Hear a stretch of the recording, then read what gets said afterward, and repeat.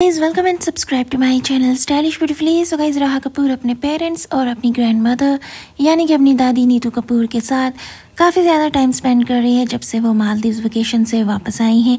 नीतू कपूर की बहुत ही लाडली है राहा कपूर और ऋषि जी के जाने के बाद अभी उनकी ज़िंदगी में बहुत बड़ी खुशी आई है जब राहा कपूर ने जन्म लिया और उनकी ब्यूटीफुल मोमेंट्स फैमिली मोमेंट्स भी पूरे मीडिया में इंटरनेट पे वायरल हो रही हैं, बहुत ही ज़्यादा पसंद की जा रही हैं।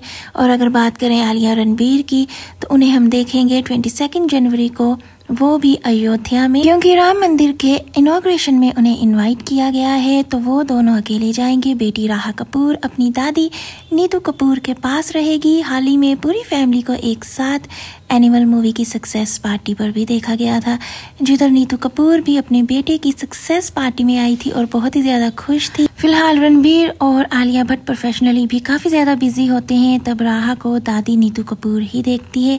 सो गाइज़ आपका वीडियो कैसी लगी ज़रूर बताना। सारी बॉलीवुड की अपडेट्स रहते रहेंगे। इसके लिए have to subscribe my channel bye